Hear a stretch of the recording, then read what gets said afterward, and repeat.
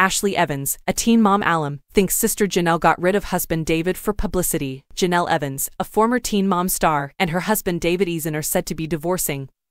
But her sister Ashley Evans says the reports are only for attention. I think Jenelle is staging a publicity stunt, Ashley exclusively tells In Touch in response to reports that Jenelle forced David to leave their North Carolina home, even if she does get rid of her husband, David, and ask Maryssa, her stepdaughter to move out, Ashley says. I do think that she is incapable of caring for her children even if she did reconcile with David following the court date. Furthermore, even if she succeeds and gets rid of David, given that my sister Jenelle was always the same before David and her entanglement, I do think she will continue to engage in the same destructive conduct. But Jenelle, 32, claims that she hasn't spoken to Ashley in almost 10 years. Since the birth of my son Kaiser in 2014, I have not spoken with my sister. Years have passed since she left my life, she confides exclusively to In Touch. The women's public feud started when Ashley attacked her sibling Jenelle on social media, saying that Jenelle had destroyed their mother Barbara Evans' reputation. Ashley had been away from social media for four years. Tire lifespan. I am making this video to tell everybody that my sister's nothing but a liar. She's always been the same. She has not only lied and destroyed my mother's reputation, she has destroyed my reputation and said horrible things about our family over the past 15 years. In the since deleted video, shared via TikTok on February 20th, Ashley went on to say that Barbara, 70, was very upset and done with Jenelle after their decade-long custody battle.